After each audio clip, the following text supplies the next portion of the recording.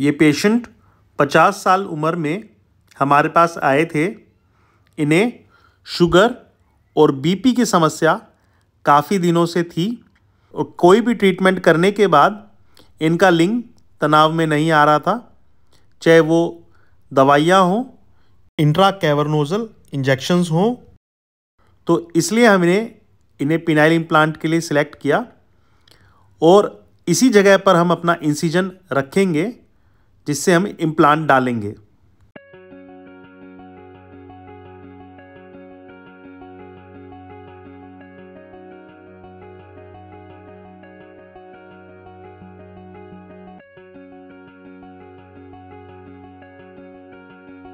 जैसा आप देख सकते हैं, ये दो सिलेंडर्स हैं। इनके बीच में हमारे पेशाब का रास्ता निकलता है। यहीं से ही हमने पेशाब की नलकी डाली हुई है।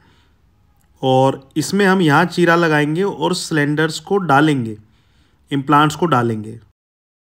सिलेंडर्स को इम्प्लांट के लिए तैयार करने के लिए हमें उसके अंदर जगह बनानी पड़ती है।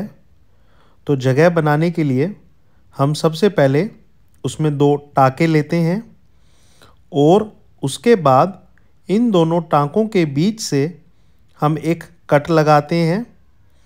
कट लग जाने के बाद वहाँ से दोनों तरफ़ हमें स्पेस बनानी पड़ती है, क्योंकि हमें उसी जगह पर इम्प्लांट डालना रहता है।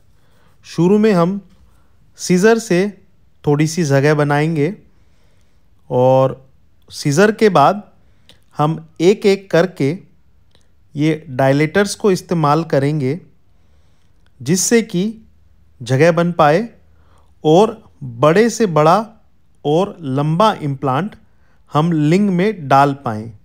तो ये प्रोसेस दोनों तरफ़ के सिलेंडर्स मतलब कोरपोरा कैवर्नोज़ा में किया जाता है, जिससे कि हम दो सिलेंडर्स डाल पाएँ और लिंग को अच्छी लंबाई और चौड़ाई मिल पाए।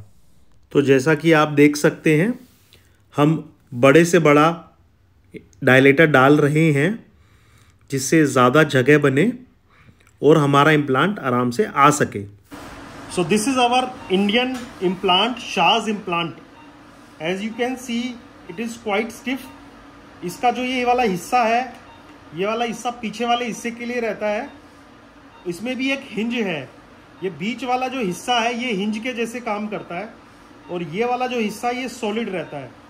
बीच वाला हिस्सा हिंज होता है, ये भी सॉलिड रहता है तो ताकि उसको कंसील कर सकें हम इम्प्लांट को छुपा सकें। ऐसे ही इसके अंदर भी ये वाला इतना हिस्सा हार्ड रहता है, ये वाला हिस्सा सॉफ्ट रहता है, जिससे कि मुड़ सकता है हमारा इम्प्लांट और ये वाला हिस्सा फिर हार्ड रहता है। तो इसको भी हम डालने वाले हैं। ये है हमारा शोज़ इम्प्लांट